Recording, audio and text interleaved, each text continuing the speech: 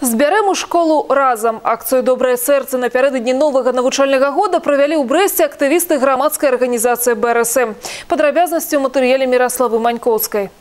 Ужо традыцыйная для Беларусі акцыя збярэм дзіця ў школу працягвае радаваць і дзяцей брэшчыны. Яе арганізатар беларускі рэспубліканскі саюз моладзі аказвае дапамогу ў выглядзе пісьмовых прыналежнасцей, спартыўнага інвентару і вучэбных дапаможнікаў дзецям са шматдзетных малазабяспечаных сем'яў і дзецям-інвалідам.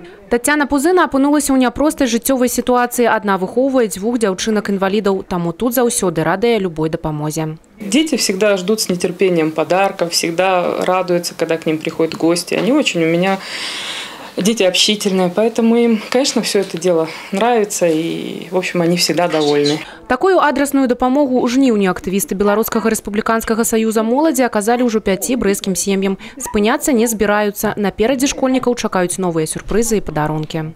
Также мы планируем 1 сентября большую акцию в центре Веда, где мы тоже будем оказывать помощь деткам с особенностями именно центру, тоже канцелярские товары, будем привозить какие-то вещи, одежда. Огромное спасибо, хочется сказать, активу Московского района, предприятиям, которые с радостью всегда принимают участие. До 1 верасня валанцёры БРСМ плануюць наведаць яшчэ тры сям'і, якія выхоўваюць дзяцей інвалідаў і падарыць станоўчыя эмоцыі да новага навучальнага года.